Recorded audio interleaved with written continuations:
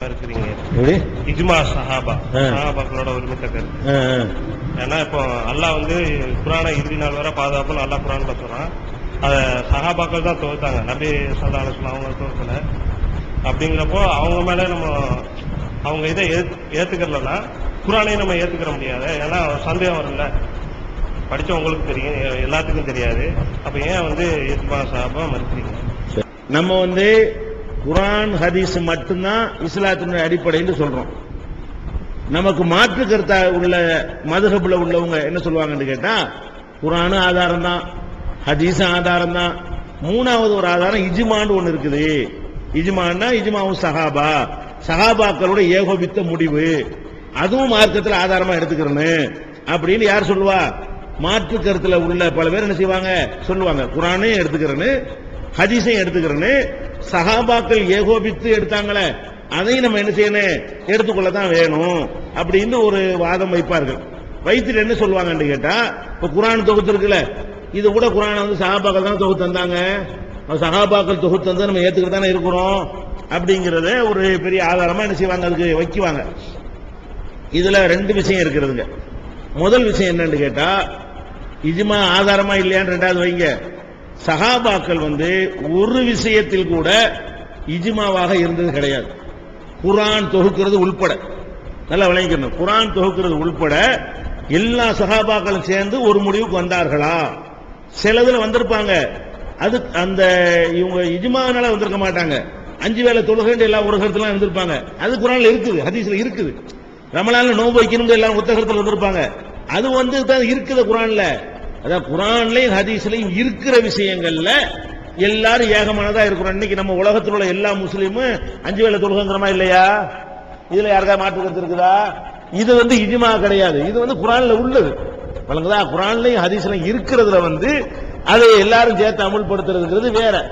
குரான்ல இல்லாத ஹதீஸ்ல இல்லாத ஒரு விஷயத்துல சஹாபாக்கள் அத்தனை பேரும் ஒருமித்த கருத்துக்கு வந்தார்கள் என்று சொன்னால் அதுக்கு ஒரு உதாரணம் காட்ட இயலாது. காட்டுறான்னு அந்த குரான் அவங்க தானே தொகுத்தாங்கன்னு காட்டுவாங்க. அதுவே தவறு. என்ன தவறு குரான் வந்து இஜிமாவாக ஏற்றுக்கொள்ளப்படவே கிடையாது. இப்ப இபுன் மசூத் ரலியல்லாஹு அன்ஹுவங்க குரானை எழுதக்கூடிய எழுத்தாளர்ல அவர் ஒரு ஆள். அவருடைய குரான்ல வந்து நூத்தி பன்னெண்டு சூறா தான். இபுன் மசூதரைய தொகுத்த குரான்ல எத்தனை சூறா? நூத்தி பதினாலு சூறா கிடையாது. கடைசி ரெண்டு சூறா வந்து குரானே கிடையாதுன்ட்டு அவர். கடைசி வரைக்கும். கடைசி வரைக்கும் என்ன பண்ணிட்டாரு? புல்லாவது ரப்பில் பழக்கு வந்து குரான் கிடையாது. புல்லாவது ரப்பின் நாசுங்கிறது குரான் கிடையாது. குல்லுகல்ல ஆகதோட முடிஞ்சிருச்சு குரான்ன்றவர். அப்ப அவருடைய குரான் அவரு அப்ப குரான்ல எல்லாம் ஏகமானதா வந்தாங்கன்னா ஏகமானதா வரலையே. ஏகமானதாக வரவில்லை. அதனால விளங்கிக்கிறங்க அதே மாதிரி வந்து அலிரலி அவனுடைய குரான் எடுத்து பாத்தீங்கன்னு சொன்னா இப்ப நீங்க வச்சுக்கிறீங்க இந்த ஆர்டர்ல இருக்காது. அவருடைய குரான்ல எப்படி இருக்கு? அவர் முதல் முதல் சூறா இக்கிரக தான் போட்டு வச்சிருப்பாரு. குரான் எந்த வரிசையில வந்ததோ அந்த வரிசையில் அவர் தொகுத்திருப்பாரு. நம்ம குரான் நம்மளே வழங்கி வச்சிருக்கோம். ஃபர்ஸ்ட் குரான் எது இறங்குனுச்சு? இக்ரோ சுரா இறங்குனுச்சுன்னு வச்சிருக்கோம். அது கொண்டு தொண்ணூத்தாறாவது வச்சிருக்கிறோம். இக்ரோ தான் முதல் இறங்கணும் முதல்ல அதானே இருக்கணும். ஆனா நம்ம குரான்ல எங்க இருக்கு அந்த சுரா? தொண்ணூத்தி ஆறாவது சூறாவை கொண்டே வச்சிருக்கோம். ஃபர்ஸ்ட் இறங்கின சூறாவை. இல்லையா? அப்படிலாம் இருக்கும்போது சஹாபாக்கள்கிட்டய நாற்பதுக்கும் மேற்பட்ட இது இருந்தது. குரானுடைய விஷயங்கள்ல மாறுபாட்டு அந்த கருத்து வேறுபாடுகள் இருந்தது. உஸ்மான் அலி அல்லாஹன் அவர்கள் வந்து ஆட்சியில் இருந்ததுனால அவங்க சட்டம் போட்டு சில விஷயங்கள் நினைஞ்சாங்க. செஞ்சு இதை மக்கள்கிட்ட கொண்டு போனாங்க. கவர்மெண்ட் இருந்ததுனால. அதனால நம்ம என்ன விளங்கிட சகாபாக்கள்லாம் குரான் விஷயத்தில் ஒன்றா அப்படிலாம் நம்ம சொல்றதுங்கிறது சரி கிடையாது. வழங்குதா இஜ்மாங்கிறது எதுலையுமே ஏற்பட்டது கிடையாது. எந்த ஒரு விஷயத்திலையுமே இஜ்மா எடுத்துக்கிறது விட்டுருவோம். ஒரு உதாரணம் சொல்லுங்கன்னா சொல்ல மாட்டேங்கிறீங்களா. எதை எடுத்துக்கிற சொல்றீங்க? இஜிமாண்டு உன்னை காட்டினா தானே நான் எடுத்துக்கிற பேச்சே வரேன் இஜிமாண்டே கிடையாது. எந்த ஒரு சகாபாக்களும் ஏகமானதா சேர்ந்து என்ன செய்யல? எங்க எல்லாருக்கும் இதான் கருத்துன்னு ஒருத்தர் சொன்னதே கிடையாது. குரான்லயும் ஹதீஸ்லயும் இல்லாத ஒரு விஷயத்துக்கு. குரான்ல இல்லாத ஹதீஸ்ல இல்லாத ஒரு விஷயத்தை சொல்லும் பொழுதெல்லாம் அவர் ஒன்று சொன்னார் இவர் ஒன்று சொன்னார். அப்படிதான் இருக்கிறது. ஒரு விஷயத்துல எட்டு கருத்துலாம் இருக்கிறது. ஒரு விஷயத்துல பத்து கருத்துலாம் இருக்கிறது. இப்னு ச- உமர் லீலானுக்கு ஒரு மகனுக்குமே சண்டை வரும். அப்பா இப்னு பாசுக்கும் உமர் லீலானுக்கும் சண்டை வரும். பெரிய பெரிய சகாபாக்களுக்கும் அவங்களுக்கு மத்தியில் என்ன இருக்கு? கருத்து வேறுபாடு வரும்.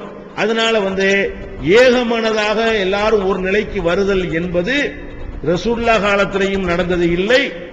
இந்த காலத்திலே நடந்தது இல்லை. கேம நாள் வரைக்கும் நடக்க போறதும் இல்லை. நம்ம எல்லா முஸ்லீம் சேர்ந்து ஒரு பேருக்கு வருவோமா? வரவே மாட்டோம். தேர்தலில் ஓட்டு போடுற வந்தா கூட எல்லாம் ஒரு இடத்துக்கு ஓட்டு போடுவீங்களா? நடக்க போறது இல்லை. அவன் ஒரு நியாயத்தை கற்பிச்சுக்கிட்டு அவன் ஒரு பார்வையில் என்ன செய்வான்? அதிகமான பேர் கொஞ்சமான பேர் பண்ணா நீங்க பிரிய முடியுமே தவிர ஏகமானதா ஒரு முடிவு உங்களுக்கு எடுக்க இயலுமா? எடுக்க இயலாது. தௌஹீதே ஏகமானதா இருக்க மாட்டேங்கிறான். குரான் ஆதாரத்தோட சொல்லும் போது அதையே என்ன செய்ய மாட்டேங்கிறான்? ஏகமானதா? எல்லாரும் ஏத்துக்கிற மாட்டேங்கிறானே? அதுக்கே இல்ல சண்டை போட வேண்டியிருக்கு. அப்ப குரான் ஹதீஸ் ஆதாரம் உள்ளதுலயே இஜ்மா வரலன்னு சொன்னா குரான் ஆதாரம் இல்லாட்டி எப்படி இஜ்மா? அது வந்து லாஜிக்கும் கிடையாது. அதுக்கு வரலாறும் கிடையாது. விளங்கிக் கொள்ள வேண்டும். அதனால இஜ்மாங்கிறதெல்லாம் ஒரு ஆதாரம் கிடையாது. நமக்கு ஆதாரம் எது? வகி தான் ஆதாரம். எது ஆதாரம்? அவங்கிட்ட இருந்து வரணும். மனிதன் தவறு செய்யக்கூடியவன். அவன் வந்து கூட குறை சொல்லி போடுவான். அல்லாஹ் வந்து தவறு செய்யாதவன். அதனால நம்முடைய வழிகாட்டுதல் எங்க இருந்து வரணும்னா வகையில இருந்து வரணும். இன்னும் சொல்ல போனா இப்ப நம்ம குரான ஆதாரமா எடுத்துக்கிட்டோம். ரசூல் சல்லா அலிசத்தை ஆதாரமா எடுக்கிறோமா இல்லையா? அதை நம்ம ரெண்டா பிரிச்சு தான் ஆதாரமா எடுக்கிறோம். எல்லாத்தையும் ஆதாரமா எடுக்கிறது இல்லை குரானை அப்படி ஆதாரமா எடுத்துக்கிறோம். ஹதீசுகளை பொறுத்த வரைக்கும் நம்ம என்ன செய்யறோம்? ரெண்டா பிரிக்கிறோம். என்ன பிரிக்கிறோம்?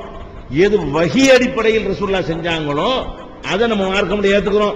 எது வகி இல்லாமல் அவங்க செஞ்சாங்களோ அது மார்க்கம் இல்ல அப்படின்னு எடுத்துக்கிறோம். இப்ப ரசூல் சல்லா அலிசல்லாம் அவங்க வந்து ஒட்டகத்துல பிரயாணம் பண்ணாங்க. நம்ம ஒட்டகத்துல போறது சொன்னத்துல யாராவது சொல்லுவீங்களா? நம்ம ஹஜ்ஜிக்கு போறாங்க நம்மள என்ன செய்யணும்? ஒட்டகத்துல போகணும் யாராவது சொல்லுவோமா? சொல்ல மாட்டோம். ஏன்? ஒட்டகத்துல போனது வகையில வந்தது கிடையாது. ஏன் நபி அவருக்கு முந்தி ஒட்டகத்துலாம் போனாங்க? நபி ஆனதுக்கு பிறகுதான் ஒட்டகத்துல போனாங்கன்னு கிடையாது. அதுக்கு முந்தையே போயிட்டாங்க. ரசுல்லாவை எதிர்த்தவர்களும் ஒட்டகத்துலாம் போனாங்க. ரசுல்லா ஒட்டகத்துல போன மாதிரி அபூஜகல போனா இதுல இருந்து விளங்குது வகி இல்ல. ஊர் வழக்கம். இந்த ஒட்டகத்துல போனது ரசுல்லா அந்த காலத்துல தான் கார்லாம் போயிருப்பாங்க. இந்த காலத்துல பஸ்லான போயிருப்பாங்க. இந்த காலத்துல தான் சைக்கிளான போயிருப்பாங்க.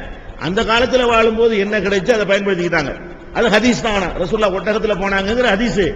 இது சுண்ணத்தா நம்ம ஹஜ்ஜுக்கு ஒட்டகத்துல போகணும். ரசூல் சொல்லா அதுல கோதுமை ரொட்டி சாப்பிட்டாங்க. நம்மளும் கோதுமை ரொட்டி சாப்பிட சுண்ணத்தை சொல்லுவீங்களா? ஐம்பது பேர் கோதுமை ரொட்டி சாப்பிட சுண்ணத்தை சொல்ல முடியுமா? சொல்ல முடியாது ஏன்? கோதுமை ரொட்டியை வந்து வகையில சாப்பிடல. அல்லாட்டு இருந்து ஆர்டர் வந்து இனிமேல் கோதுமை ரொட்டி சாப்பிடணும் உத்தரவு வந்தா சாப்பிட்டாங்க. கிடையாது. அவங்க நபியாவதுக்கு முந்தைய அதான் சாப்பிட்டாங்க. முப்பது வயசுல அதான் சாப்பிட்டாங்க. இருபது வயசுல அதான் சாப்பிட்டாங்க. அவங்க நபியா ஆகாமையே இருந்தா கூட அதான் சாப்பிட்டு இருப்பாங்க அவங்களோட எதிரிகளும் அதான் சாப்பிட்டாங்க. நம்ம இது வகி இப்படி பிரிக்கிறோமா இல்லையா? ரசுல்லாவுக்கு காயம் பட்டு ரத்தம் ஓடுது. சாம்பலை பூசிக்கிட்டாங்க. ரத்தம் ரத்த கட்ட நிப்பாட்டுறதுக்காக வேண்டி இப்ப ஆக்சிஜனான சாம்பலை பூச முடியுமா? இன்ஃபெக்ஷன் ஆகி போயிடும் அந்த காலத்தில் உள்ள மருத்துவ முறைக்கு அதான் முடியும் அப்போதைக்கு வேற ஒன்றும் வழி இல்லை. அதை பூசிக்கிட்டாங்க. இந்த காலத்தில் ரசூல் சல்லாசலம் இருந்தால் என்ன பண்ணியிருப்பாங்க இந்த காலத்தில் எந்த மருத்துவ வசதி விரும்புறாங்களோ செஞ்சிருப்பாங்க. ஒரு அ- நாட்டு வைத்தியமோ ஒரு இங்கிலீஷ் வைத்தியமோ ஏதாவது ஒரு வைத்தியத்தை ரசூல் அணிஞ்சிருப்பாங்க தேர்ந்தெடுத்திருப்பாங்க. அப்ப இந்த வைத்தியம் பண்ணாங்களா? அதெல்லாம் என்னது? அதெல்லாம் நீங்க மார்க்கம் கிடையாது. ரசூல்லா செஞ்ச வைத்தியத்தை நீங்க செய்யக்கூடாது. செய்யறது மார்க்கம்னு சொல்லக்கூடாது. விரும்பினா செஞ்சுட்டு போங்க. ஆனா ரசூல் சல்லா அலிஸ்லாம் செஞ்ச வைத்தியத்தை நான் செய்வேன். எனக்கு நோய் வந்தா நான் வந்து க- வெட்டு காயப்பட்டா சாம்பலை தான் பூசுவேன் நீங்க சொல்ல முடியாது. நான் வந்து கோதுமை ரொட்டி தான் திம்பேன் வயிற்றுக்கு மலச்சிக்கல் வந்தாலும் பரவாயில்ல. அப்படின்னு நம்ம நாட்டு தட்ப வெட்பத்துக்கு நம்ம பாடிக்கு நம்ம கிளைமேட்டுக்கு எது ஒத்துக்கிறோமோ தான் நம்ம சாப்பிடணும்.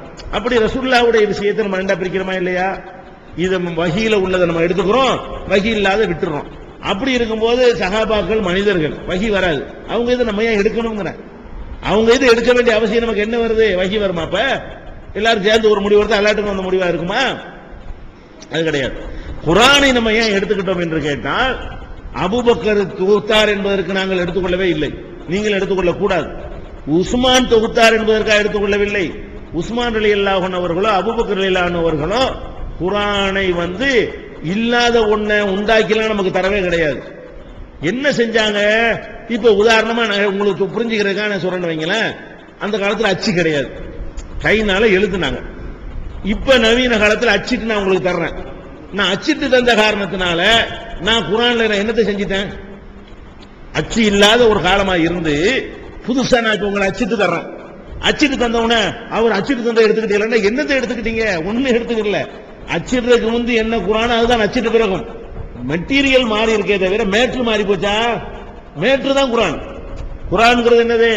அதில் உள்ள மேட்ரு தான் குரானை தவிர அது எந்த மெட்டீரியல் இருக்குங்கிறது என்ன இல்ல? குரான் கிடையாது. குரான்ங்கிறது அந்த அந்த ஓ அலமது இல்லா இதான் குரான். அப்ப குரானை பொறுத்த வரைக்கும் அப்ப ரசூல் சல்லா அலி சொல்லாம அவங்க என்னமோ சொல்லாம இருந்த மாதிரி அபுபக்கர் இல்லான உமர் இல்லா உஸ்மான் இல்லானலாம் கஷ்டப்பட்டு அவங்கள ஆராய்ச்சி பண்ணி குரானை தயாரிச்ச மாதிரி நினைச்சு அதுவே அல்லாமல் இட்டு கட்டுறதாயிரும். அவங்க எல்லாம் குரான்ல எதுவுமே செய்ய கிடையாது. என்ன செஞ்சாங்க? எழுதின விஷயத்தை எடுத்துக்கொண்டா ரசூல் ஸல்லல்லாஹு அலைஹி அவங்க உத்தரவுப்படி தான் எழுதினார்கள் ஒவ்வொரு ஆயத்தும் வருமா? இதை எழுதிக்கிறங்க இந்த வசனத்தை எழுதிக்கிறங்க இதை எழுதிக்கிறங்கன்னு சொல்லுவாங்க. சஹாபாக்கள் எழுதி வச்சிருவாங்க. எழுதின குரானுடைய விஷயங்கள் எல்லாம் இது இந்த சூறாவுல உள்ளது இது இந்த சூறாவுல உள்ளதுன்னு நினைஞ்சாங்க. தொகுத்து வச்சிருந்தாங்க. ஆனால் என்ன பண்ணல ரசூல் ஸல்லல்லாஹு அலைஹி வருஷப்படுத்தல எதை வருஷப்படுத்தல ஆயத்துகளை வருஷப்படுத்தினாங்க சூறாக்களை வருஷப்படுத்தல ஆயத்தை வருஷப்படுத்தினாங்க. பக்கராவில் இது ஃபர்ஸ்ட் வசனம். பக்கராவில் இரண்டாவது வசனம். பக்கராவில் இது மூணாவது வசனம் என்பது அது வரிசையா இருந்துச்சு. ஆனா இது அல்ஹம்து ஃபர்ஸ்ட் பக்ரா ரெண்டாவது மூணாவது ஆலை இம்ரானு நாலாவது நிசா அஞ்சாவது மாயுதா ஆறாவது அண்ணாமு ஏழாவது அவராஃபு இப்படி எட்டாவது அன்பால் இப்படி வருஷப்படுத்தினாங்களா? இப்ப இருக்குல்ல. இந்த ஆர்டர் பிரகாரம் வருஷப்படுத்தி இருந்தாங்களா அதை ரசூல் ஸல்லல்லாஹு செய்யல. என்ன பண்ணிட்டாங்க? எப்படி புரிந்து கொள்வதுன்னு சொல்வதா இருந்தா பாத்தி அளவும் தூசரா இருக்கு அது ஒரு கட்டு கட்டியாச்சு. அதை ஓலையில எழுதி நெஞ்சாச்சு ஒரு கட்டு கட்டியாச்சு. ஒரு பெட்டியில போட்டாச்சு. பக்கரா சூறா இருக்கு அது எழுதி ஒரு கட்டு கட்டியாச்சு. அது ஒரு பெட்டியில போட்டாச்சு. அதே பெட்டிக்குள்ளேயே. அது மாதிரி அண்ணாம் சூறா கட்டி போட்டாச்சு. இப்ப எது ஃபர்ஸ்ட் எது செகண்ட் வருமா அதுல? கட்டு கட்டா துண்டு துண்டா கட்டி உள்ள போட்டிருந்தா எதை எடுக்கணுமோ அது வரும். எட்டாவது கூட வரும் ஒன்பதாவது கூட வரும். இந்த ஆர்டர் வந்து ரசூல்லா படத்துல. ஒவ்வொரு சூறாவும் அது அவ்வளவுதான். சூறாவில் யாரும் கை வைக்கல. எதை முத ஓதுறது எதை ரெண்டாவது வைக்கிறதுங்கிறது தான் ரசூல் சல்லாசலம் செய்யாம போனது. ஆனா என்ன செஞ்சாங்க இவங்க? நம்ம ஒரு ஆர்டரை வச்சுக்கிறோம் பெரிய சுறாவையா ஃபர்ஸ்ட் வைப்போம் சின்ன சுறாவையா பின்னாடி வைப்போம்னு சொல்லி உஸ்மான் அடுத்து இந்த ஆர்டர் படுத்தினாங்க. அந்த ஆர்டரை ஏத்துக்கணும்னு அவசியம்லாம் கிடையாது. அந்த ஆர்டர் வந்து குரான்ல ஏதோ ஒரு ஆர்டர்லாம் இருக்கு. எந்த ஆர்டர் வச்சாலும் இன்னொருத்தர் கேள்வி கேட்டு தான் இருப்பான். ஏதாவது ஒரு ஆர்டர் தான் வைக்கணும். அதனால அந்த ஆர்டரை ஏத்துக்கிறமே தவிர ரசூல் சல்லா அலிஸ்லமே இந்த ஆர்டருக்கு முக்கியத்துவம் கொடுக்கல. எப்படி பண்ணல? ஒரு ஒரு நாள் ரசூல்லா தொழுகிறாங்க தொழுவும் என்ன செய்யறாங்க? ஃபர்ஸ்ட் இரவு தொழுகை.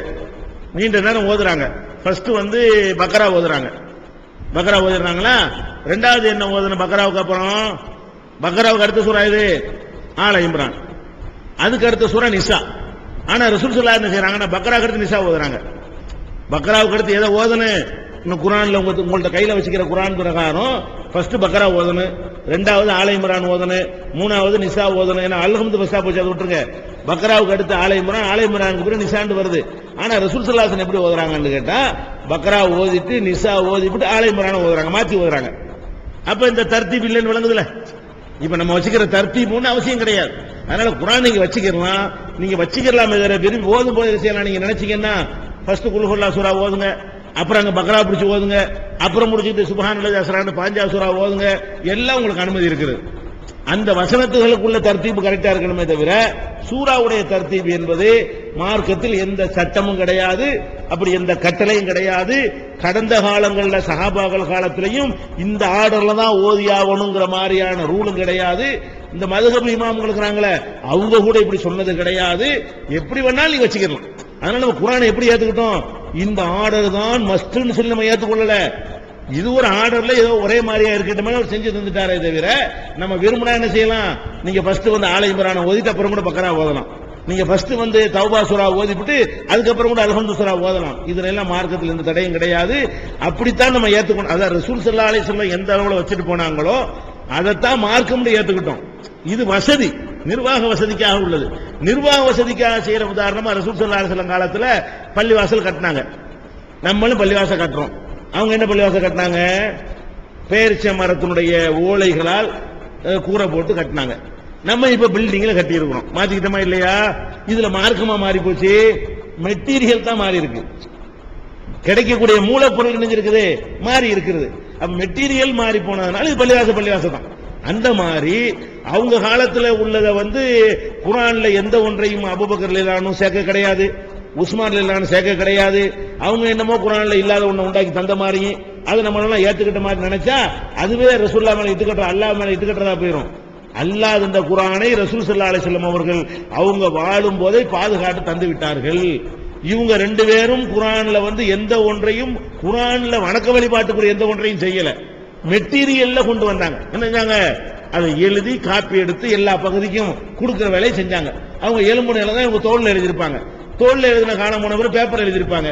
பேப்பர் எழுதின காலம் போய் நம்ம இந்த பிரிண்ட்ல கொண்டு வந்தோம். பிரிண்ட் காலம் போய் இப்ப கம்ப்யூட்டர்ல என்னஞ்சாச்சு எழுத்தே இல்லாம ஸ்கிரீன்ல பார்த்துக்கிட்டு இருக்கிறோம். டிஸ்பிளேல பாக்குறோம் இப்படி ஒரு காலம் ஆயிடுச்சு இப்படியான ஒரு வேலையை அவங்க செஞ்சாங்களே தவிர என்னமோ குரானே அவங்க தான் செஞ்ச மாதிரி அவங்க இருந்த குரானத்தை நம்ம வச்சுட்டு இருக்கிற மாதிரி நினைச்சா பயங்கரமான சிற்காய் போயிடும் குப்பராய் போயிடும் அல்லாஹ் அந்த குரானை தான் நம்ம எடுத்துக்கொண்டிருக்கிறோம் அல்லாவுடைய ரசூல் காலத்தில் தொகுக்கப்பட்ட குரானை தான் எடுத்துக்கொண்டிருக்கோமே தவிர வேற ஒன்றையும் நம்ம எடுத்துக்கொள்ளல அதனால வந்து இஜிமாங்கிறதே மார்க்கத்தில் கற்பனையானது இல்லாத ஒன்று. எந்த ஒரு விஷயத்திலையும் சகாபாக்கள் என்ன செய்யல? ஏகோபித்த முடிவுக்கு வரல. அப்படி வந்தாலும் அது மார்க்கம் என்று சொல்வதற்கு ஆதாரம் காட்டணும். எல்லாரும் யோகபித்துக்கிட்டு ஒரு ஊர்ல அம்பிட்டு போய் யோகம் யோகபித்து என்ன செய்யறாங்க வரதட்சணை வாங்குறாங்கன்னா மார்க்கம் ஆயிருமா அப்படி ஆகாது ஏகோபித்தெல்லாம் பயந்துகிட்டு கூட நினைஞ்சிருக்கிறாங்க ஜனாதிபதிகளை எதிர்க்கிறதுக்கு பயந்து கொண்டு கூட ஜனாதிபதிகள் போட்ட சட்டங்களை சகாபாக்கள் பேசாம மௌனமாவெல்லாம் நினைஞ்சிருக்காங்க கேட்டுக்கிட்டு இருந்திருக்கிறாங்க. அதுக்கெல்லாம் நிறைய சான்றுகள்லாம் இருக்கிறது ஹதீஸுக்கு மாத்தமாக உமரில் பேசுறாங்க. என்ன பேசுறாங்க?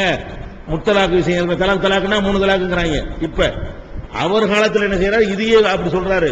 மூணு தலாக்குன்னு எவனா சொன்னீங்கன்னா மூணு தலாக்க ஆக்கி போடுவோம்னு சொல்லி சட்டம் ஆக்கி விட்டார். அப்படின்னு அதிசல வருது. ஆனா ரசூல் சல்லா சொல்லம் காலத்தில் எப்படி இருந்தது? கான தலாக்கு சலாஹுல் அஹதி ரசூலில்லாஹி இல்லாஹி அலைஹி வஸல்லம் வ அஹதி அபி ஓ வ சதரம் இமாரத் உமர் இன்னமா யுஅத்து வாஹிதா. அபுபக்கர் ரலியல்லாஹுடைய ரசூல் சல்லா சொல்லம் காலத்திலையும் அபுபக்கர் ரலியல்லாஹுடைய காலத்திலையும் உமர் ரலியல்லாஹுடைய ஆரம்ப காலத்திலையும் ஒரு தலாக் தலாக் தலாக்குன்னு சொன்னானே ஆனால் அது ஒரு தலாக்கு தான் மூணு வார்த்தை தானே மூணு ஆகாது லட்சம் தடவை அவன் தலாக்குன்னு சொன்னாலும் எத்தனை தான் அது? ஒரு தடவை தலாக்கு சொல்லியிருக்கான்னு தான் அர்த்தம். உமர்லிலான ஆட்சி வந்த பிறகு ரசூல் சல்லாசுக்கு மாத்தமா அதை மாத்துறாரு யாரும் வாய திறக்கல.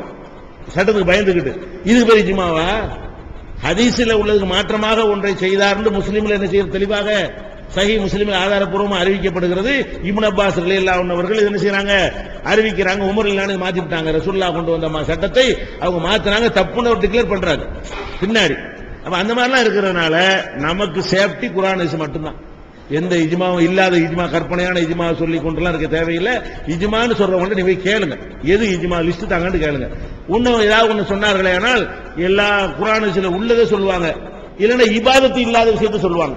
இபாதத்துகள்ல இஜ்மாவானதுக்கு ஒரு உதாரணம் கூட யாராலையும் காட்ட இயலாது. விஷயம்?